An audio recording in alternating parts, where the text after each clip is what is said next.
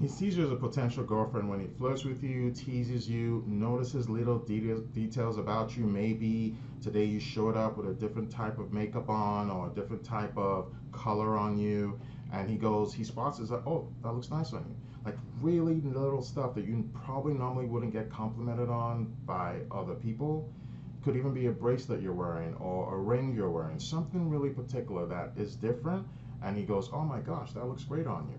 So he flirts with you, he teases you, he notices little detail, details about what you're wearing or your energy even. Maybe he notices something different about your energy one day. He goes, "Oh my gosh, I've never seen that before. That side of you. Wow." You know, so he just picks up on these little details about you that other people don't typically pick up, especially guys. Now, you're just one of the guys when he just treats you like one of the guys. He he has no problem not being particularly polite around you, just speaking however which way he wants, cursing, picking his nose, whatever it is, right? He just doesn't care. He just sees you as one of the guys, and he doesn't feel self-conscious around you.